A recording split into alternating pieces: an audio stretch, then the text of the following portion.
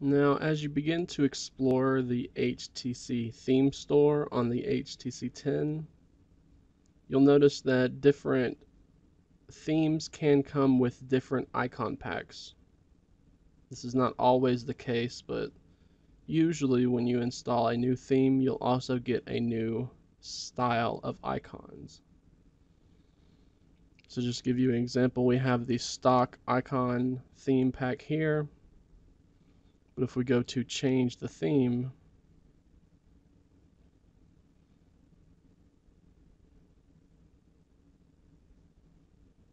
once that theme is applied, you can see we have a different set of icon packs.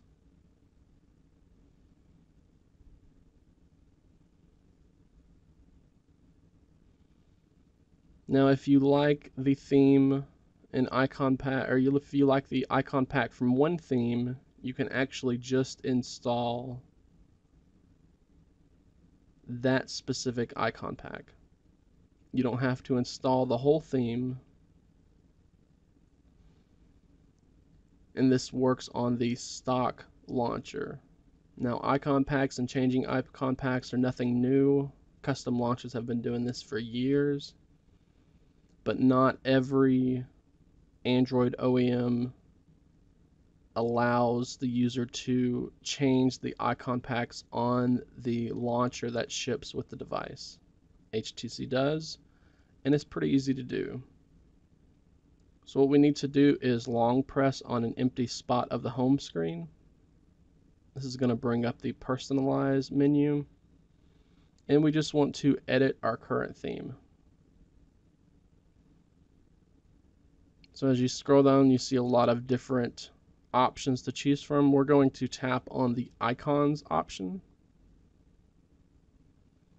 As you can see here, we have just specific icon packs for a lot of different themes.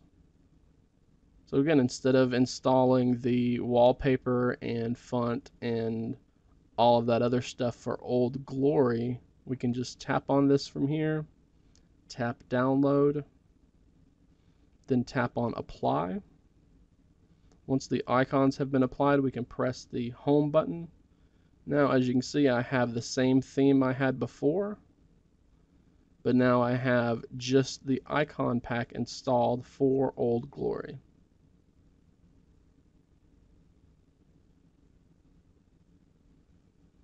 Now, as you're going through these, most of the time you'll just be trying some out just to see how they look. It's kind of hard to see how a different style of icons will look on your specific home screen.